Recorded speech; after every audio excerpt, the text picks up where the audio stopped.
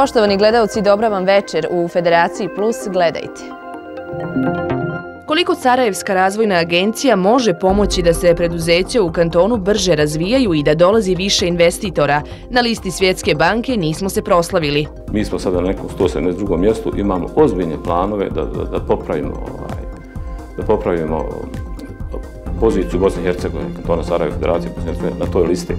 Koliko posjećujemo biblioteki u potrazi za znanjem? Stvaranjem pogodnih uvjeta za sjedenje, odnosno korištenje knjiga u formi knjige u formi digitalnog zapisa, mikrofilma i tako dalje, biblioteka je postigla svoju punu svrhu Šestogodišnji Ismail Zulfić pozitivnom energijom, voljom i željom da se bavi sportskim aktivnostima pomjera granice. To je sasvim sigurno poruka e, svim roditeljima da, da se ne boje dati svoju djecu e, na zimu na, i minus temperatura je nešto novo što djeca trebaju da prođe.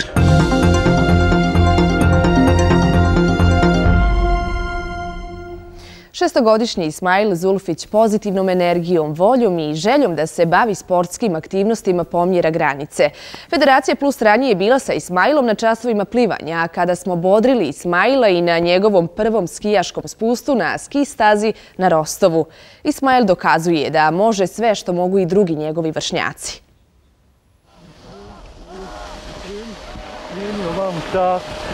Bravo.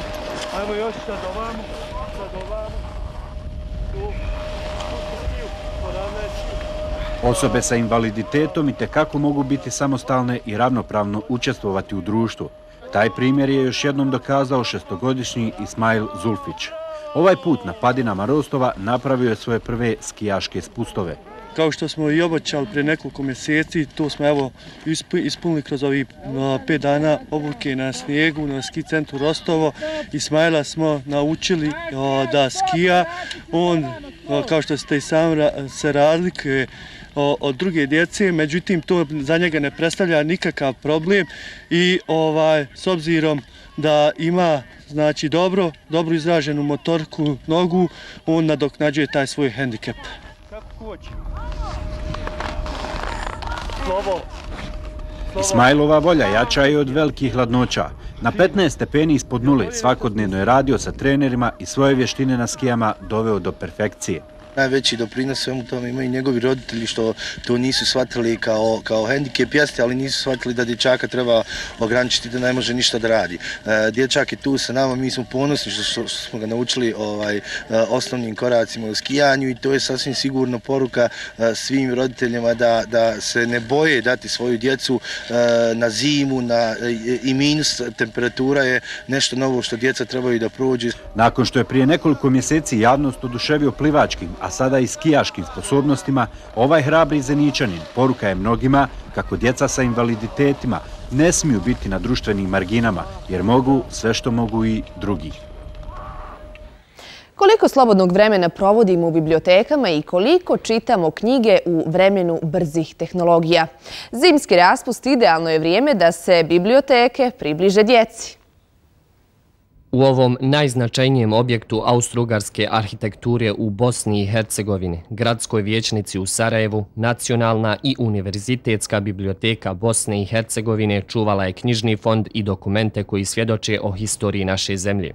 Kada je u augustu 1992. godine hram pismenosti i kulture zapaljen, u požaru je nestao i vrijedni knjižni fond biblioteke sa oko 80% knjiga i dokumentata. Vječnica danas sija u punom sjaju, ali bez prvobitne namjene kao mjesta za druženje sa knjigom i sticanje novih znanja. Mi smo zvanično po važećim papirima u nadležnom jeli, katastarskom izvodu, jeli, odnosno katastarskoj čestici još uvijek se vodimo tamo sa bez ograničenja, korisnik bez ograničenja. Mi smo korisnik bez ograničenja i mi to naše pravo želimo da koristimo, moramo da koristimo zbog prethodnih generacija i zbog ovih generacija o kojima vi govorite, ali ja, nažalost, ne mogu da uđem, ne ja kao ja, ne mogu ni ja kao ja, kao direktor, nego Nacionalna univerzitetska biblioteka Bosne i Hercegovine ne može da uđe čak ni u dio te zgrade zvane vijeca koju svi mi volimo, koju poštujemo, njenu istoriju ili historiju, zato što gradska vlast na čelu s aktualnim gradonačelnikom ne dozvoljava nam tu mogućnost. Već tri godine svoje pravo nacionalna i univerzitetska biblioteka Bosne i Hercegovine traži, ali nemaju odgovor od nadležnih sudskih institucija. Sa kontinuitetom od 70 godina središnje institucije u oblasti bibliotekarstva u vrijednim zbirkama i danas čuvaju knjige i dokumente od nacionalnog značaja.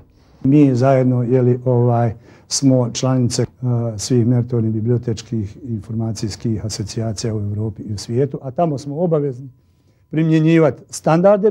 Korisnici naše biblioteke su uglavnom studenti univerziteta u Sarajevu, ali i drugi studenti iz drugih gradova.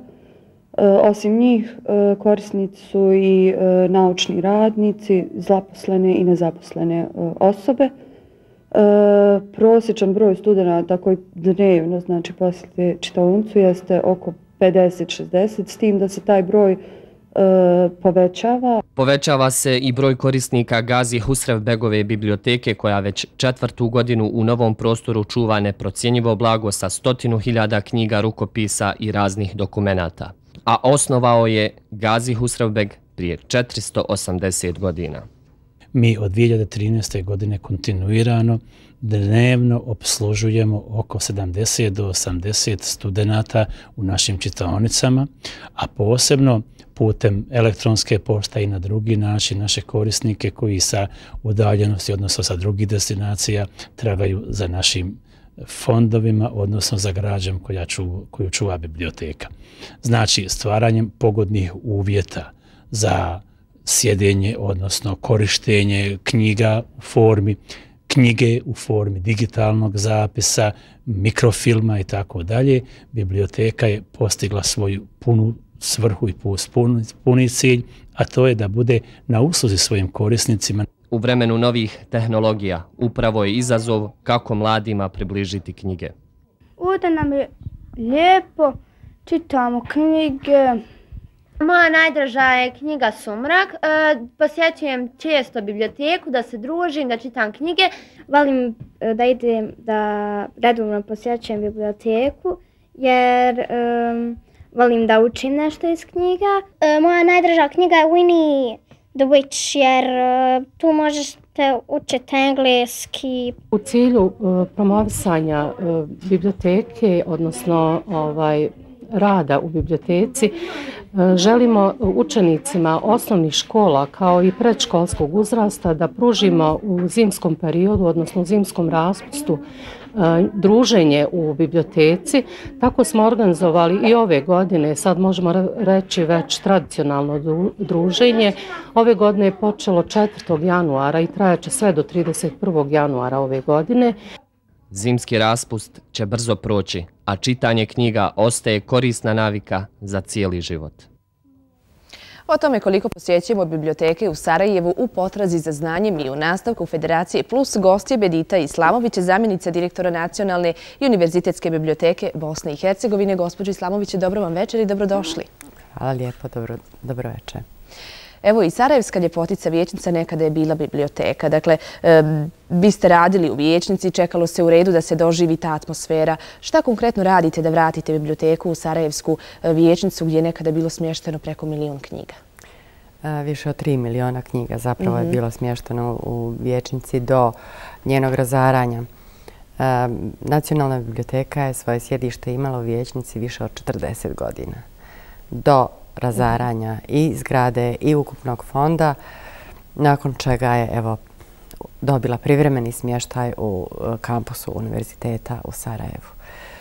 Šta možemo činiti, jedino što možemo činiti je da se obraćamo pismeno e, gradonačelniku i onima koji se evo sad staraju o vijećnici, o zgradi toj, da nam dozvole, da nam e, obezbijede e, prostore koji su predviđeni za biblioteku.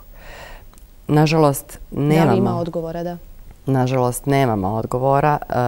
Jednostavno se oglušuju o naša pitanja kada možemo ući i kada možemo useliti bar u taj dio koji je eto, dodijeljen, da to tako u znake navoda stavimo, dodijeljen Nacionalnoj univerzitetskoj biblioteci Bosne i Hercegovine, koja je, kao što je malo čas rečeno, jedini u stvari korisnik, jedini zakoniti korisnik tog prostora. Država je vlasnik vječnice, ali jedini korisnik je Nacionalna i univerzitetska biblioteka Bosne i Hercegovine. I paradoks je da je... Kao da se postavlja pitanje kako je to uopće moguće. Tako je. Paradoks je da kad želimo održati izložbu, promociju ili bilo što te vrste, neki event, mi moramo zatražiti dozvolu od uh, uprave grada da, da to instaliramo evo, u vječnici. E, Nacionalna univerzitetska biblioteka Bosne i Hercegovine nekada je imala 20.000 korisnika, danas oko 4.000. E, šta nam ta brojka govori? Šta, u čemu je problem? Da li ljudi čitaju knjige? Šta se dešava? Da, i više nego ikada. Dobro. Knjiga se traži, traži se knjiga više, posebno recentni naslovi i mm -hmm. najnovija literatura. Posebno studenti pred ispite, gužve su e, nevjerovatne i nas to raduje. Jeli? Mi smo zapravo servis koji treba da pruži e, tu vrstu usluge našim korisnicima i e, biblioteke, riznice znanja, naravno, e, treba da prate i nove tehnologije, što mi i činimo. U svakom obliku, kao što je malo prije također u prilogu kazano, u svim oblicima uslužujemo naše korisnike i na novim tehnologijama, a nove tehnologije zapravo su instrument koji pomaže bibliotekama da rade po novim standardima, po savremenim evropskim i mhm, mhm. svjetskim standardima. Pa zašto je onda ovolika razlika između e, korisnika kojih je Nacionalna univerzitetska biblioteka imala nekada i sada? Treba to imati u mhm. vidu da je u vječnici bilo 6000 kvadratnih metara, a sad smo svedeni na oko 2400. Mhm. Tako da je više faktora uključeno sve to. E, Gospodin, nastavit ćemo razgovor. Svakako ostanite sa nama. E, maštajmo i sanjarimo listajući knjige. Kolega Mišo Vidović vodi nas do pjesničkih vrtova rodne kuće na Sihe Kapidžić-Hođić u Banju i Luci.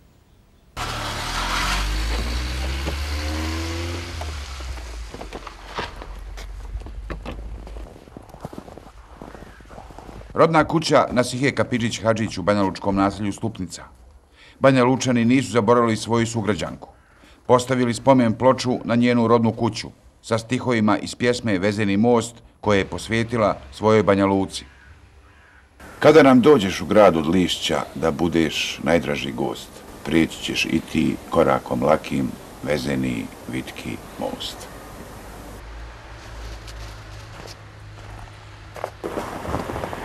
A kada ova bašta procvjeta i probehara, ovdje se okupljaju Lučani, nasihini sugrađani, njene kolege, književnici i pjesnici, čitaju se stihovi, čitaju se nasihini stihovi, a čitaju se stihovi nasihi čast.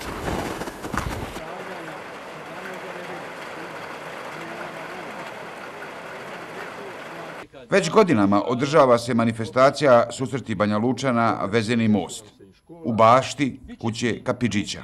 Svaki put kad dođemo ovde u ovu baštu, ovaj, eh, predamnom eh, se, se ovako pojavi lik eh, na Sikin. Volio sam, volio sam još kao mlađi pjesnik dolaziti ovdje. To je moja učiteljica poezije. To je moja prijateljica iz vremena kada sam ja odrastao kao pisac. Jedan od učesnika pjesničkih druženja posvećenih Nasihi Kapirić Hadžić bio i pjesnik i glumac Enes Kišević. Među onima koji pohodili i pohode baštu kuće Kapidžića jeste i banjalučki književnik Ismet Bekrić. Iz, iznova se mi čitao, ovaj, lijepa je baš ta njena nježnost, da ona je išla sa tom nježnošću protiv mislim, u susret svijetu. To je lijepo. U toj bašći rasla je jedna djevojčica i pjesnikinja koja je u svakom cvijetu, u svakom plodu, u pjevu ptice pod strehom, u žuboru rijeke, tražila nadahnuće i nadahnuća da ih prelije u stihove. Odlukom Komisije za očuvanje nacionalnih spomenika Bosne i Hercegovine, kuća porodice Kapidžić, rodna kuća Nasihi Kapidžić-Hadžić, proglašena je spomenikom Bosne i Hercegovine od posebnog značaja, odnosno nacionalnim spomenikom Bosne i Hercegovine. Kapidžića kuća značajna je i kao dio kulturno-istorijske tradicije i baštine u Bosni i Hercegovini. U kući se nalazi spomen soba Nasije Kapiđić-Hadžić, gdje se nalaze njene knjige, dokumentacija, fotografije, književne nagrade, sve ono što potiče na njen život i bogato stvaralaštvo. U spomen sobi su i predmeti i eksponati koji svjedoče o životu ugledne i poznate Banja Lučke porodice Kapiđić. Dobro, evo kakva je saradnja sa evropskim centrima s obzirom na to da se u biblioteci čuva i značajna arhivska građa? Vrlo snažna mhm. saradnja sa svim meritornim, eh, profesionalnim, strukovnim asocijacijama i organizacijama i zapravo evo očekujemo da vrlo skoro bude organiziran jedan, eh, jedna postavka, jedna izložba u eh, House of European History u kojem će i jedan od naših artefakata, jedan naš naslov biti predstavljen, što je za nas velika čast. E, Gospodžo Islamović, u nadi da ćemo biblioteku vratiti u zgradu Vječnice i završavamo ovaj razgovor. Vama hvala na gostovanju. Hvala vam na pozivu. Svečanim koncertom u Narodnom pozorištu u Sarajevu Kulturno-umjetničko društvo Lola obilježilo je 70 godina rada. Publici su se predstavile brojne sekcije i ansambli prikazujući bosansko-hercegovačko kulturno-umjetničko bogatstvo.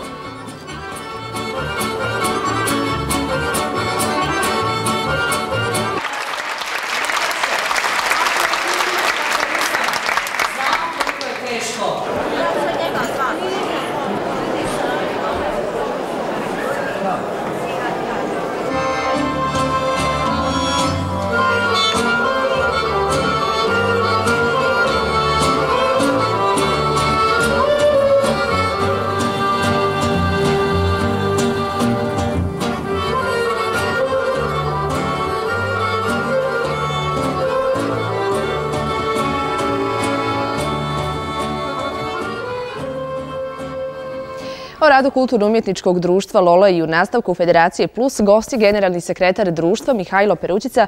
Gospodine Perućice, dobro vam večer i dobrodošli. Dobro večer i hvala na pozivu. Evo, održali ste koncert u Narodnom pozorištu u Sarajevu, a istovremeno obilježavate 70 godina rada i postojanja. Pa evo, kakvi su planovi e, za dalje u ovoj godini?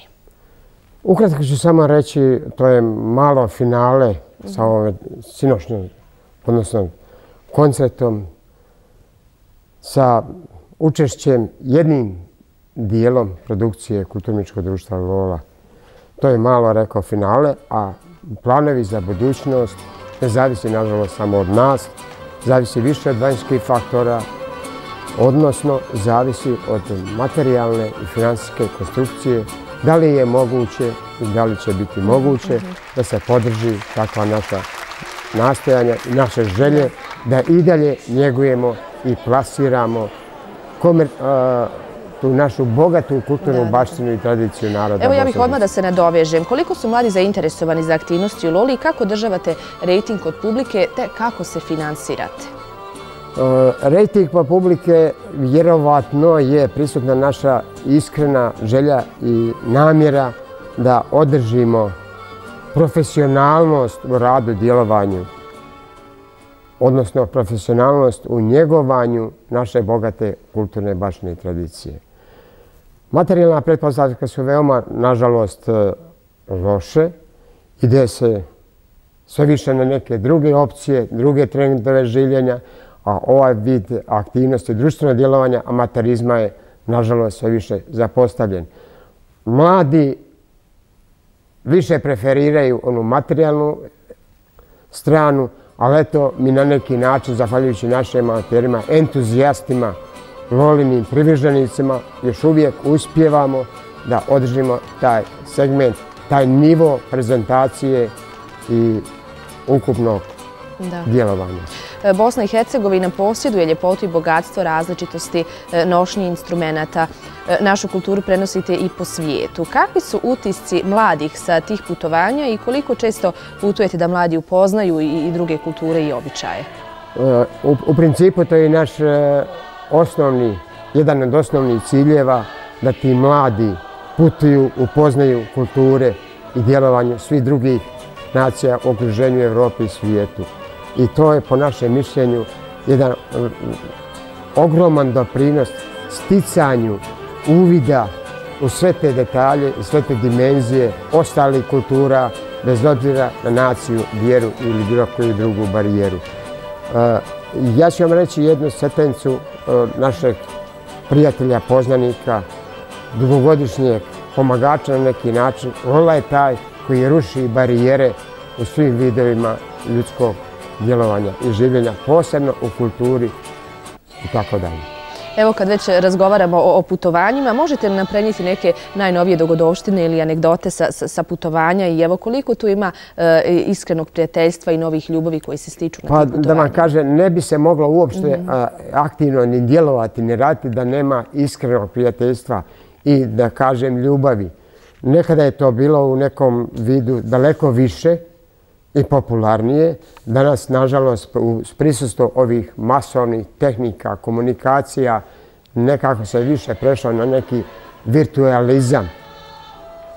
Njima je ovi tableti, kako li se to sve tehničko zove, ne znam, malo više mhm. osvojio i prisutniji u ukupnom življenju nego to interno druženje, prijateljstvo, saradnja, solidarnost što mogu postići kod vas ili tako? E, pa ovaj- mi insistiramo na tome mhm. da eliminišemo te e, detalje, a da više uključimo to druženje, solidarnost, prijateljstvo i ono što je osnovno što čini humanije življenje u ukupnom sveme tome. E, hvala vam na gostovanju i puno sreće u daljem radu. Hvala i drugi put. Hvala vama. Koliko je kanton Sarajevo privlačan za investitore, odnosno koliki je interes investitora da ovdje ulažu kapital i razvijaju preduzeća, koja će biti nosioci razvoja ekonomije? Gordon Antonić. Programi subvencioniranja, zapošljavanja i podrške malim privrednicima za mnoge je bila karika koja je nedostajala da se ohrabre samostalno započeti biznis. Stečena znanja i iskustva iskoristili su na profitabilan način. Ja sam fotografiju odabrao tu kao jedan ovako poziv koji, koji već no, preko 12 godina radim isto takvu fotografiju, ali ima i tih fotografa, ima svega, ima tih raznih folova, ali sam našao jednu nišu koja je onako dosta, dosta nije pokrivena u smislu te neke tehničke precizne, kako da se izrazim, fotografije studijske koju ovi koriste za prezentaciju svojih proizvoda, pravi kataloge, šta znam, web prezentaciju i to sve.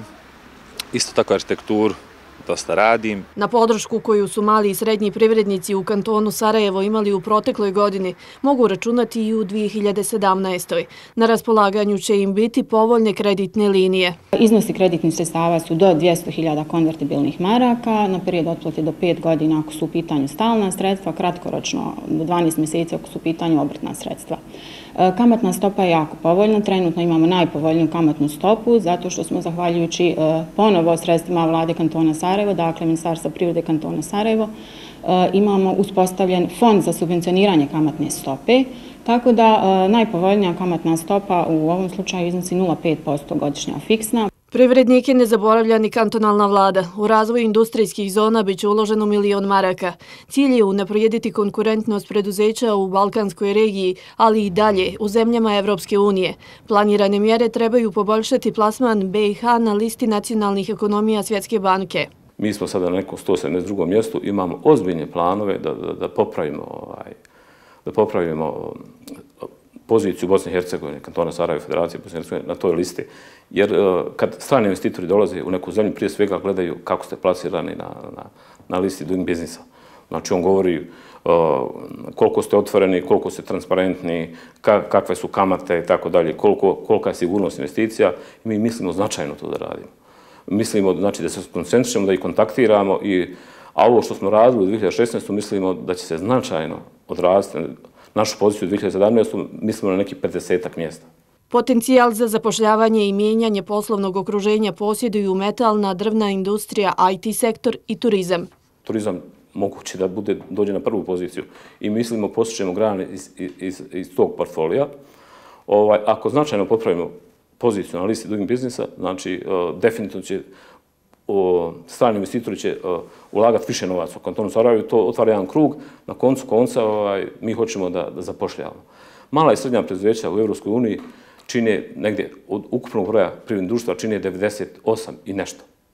Bosna i Hercegovina je ovaj, blizu te cifre. Mala i srednja preduzeća nakon gašenja velikih privrednih giganata postaju generatori zapošljavanja.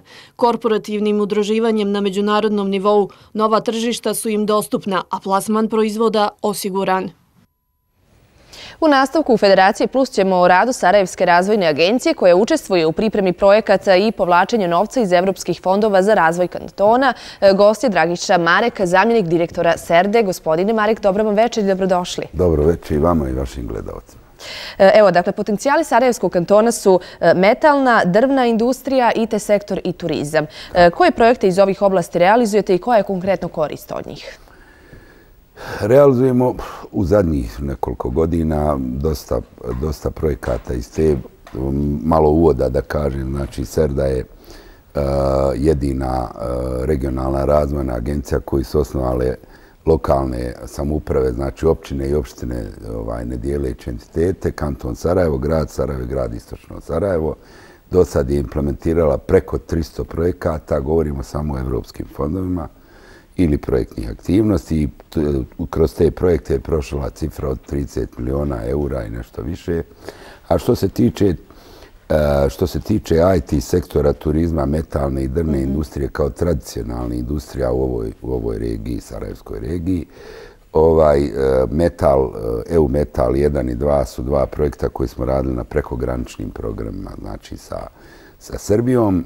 Radili smo E, E, kolege, kolega Sinša je radio e, e, evaluaciju e, ekoproizvoda na, u Nacionalnom pa-, parku Sutjeska. E, rađeno je i nekoliko, nekoliko manjih projekata sa Crnom Gorom i ovaj bio na, prekograničnom s Crnom Gorom na posmatranju ptičica, na transnacionalnim projektima sa italijanima, mediteranskim ovaj, sredozemnim programom smo radili neke strateške, dakle, strateška povezivanja klastera mhm, mhm. turizma na Jadranu i na Mediteranu.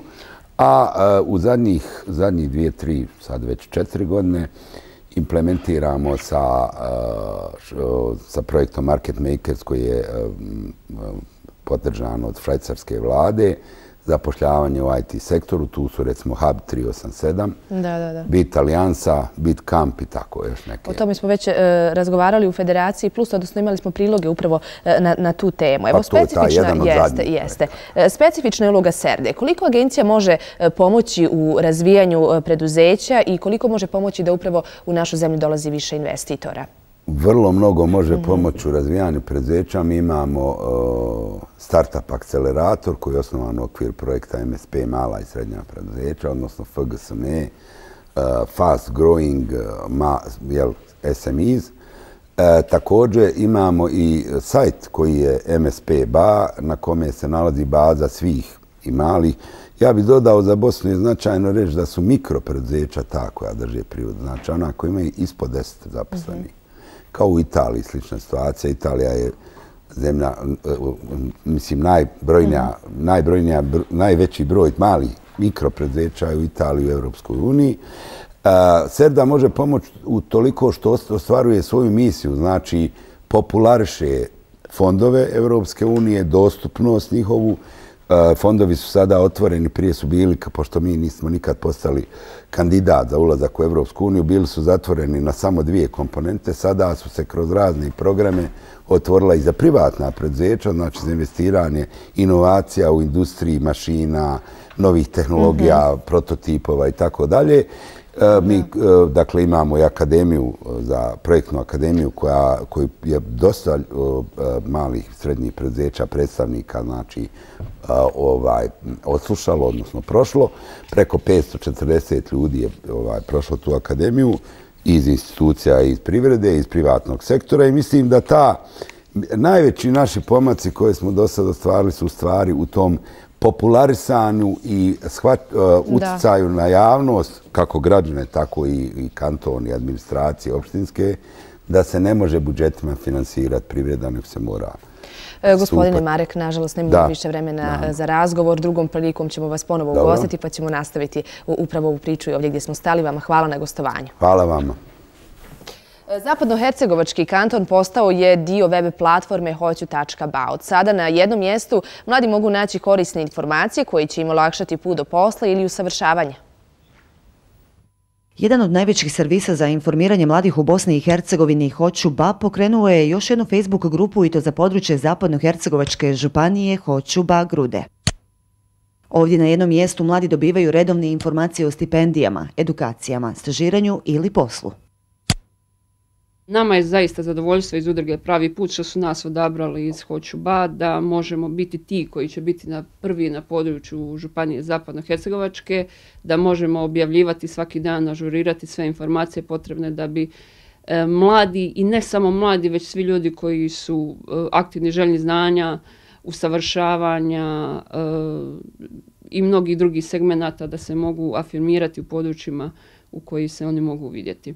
Žena svakodnevno u grupi objavljuje korisne informacije za mlade, a cilj je osnažiti ih, pomoći mladima, što mogu nakon školovanja, gdje se zaposliti, kako napisati životopis ili motivacijsko pismo. Ukratko sve ono što mlade muči u potrazi za poslom ili na putu usavršavanja.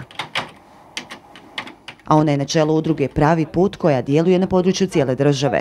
Edukacija i podrška mladima jedan je od glavnih zadaća. Evo možemo reći na taj primjer da smo imali pa u ovih mjesec dana više od 50 upita, pismenih upita e, za udrugu na koji način možemo im pomoći. Evo, čak i mlade osobe koje su završile i negdje su čak i volontirale u Njemačkoj i u Austriji pa su se vratili ovdje. Za manje od dvije godine udruga je uspješno završila deset projekata, infodani, poslovna konferencija, radionice i seminari. Trenutno provodi i projekt računalne edukacije informatička pismenost. Znamo evo da internet danas zaista i društvene mreže su, bez njih ne možemo nigdje i ništa uraditi, a pogotovo mladi ljudi koji završe svoje školovanje. Svjedoci smo stanja u državi i sve češćeg iseljavanja mladih, kaže Žana, ali ključno je da se mladi uključe u volontiranje. Svojim iskustvom i znanjem da mijenjaju sliku o Bosni i Hercegovini s dobrom ili boljom budućnosti. Poštovani gledalci, Federacija Plus je završena. Sa novim pričama i informacijama očekujemo vas i naredni vikend. Vama hvala na pažnji i doviđenja.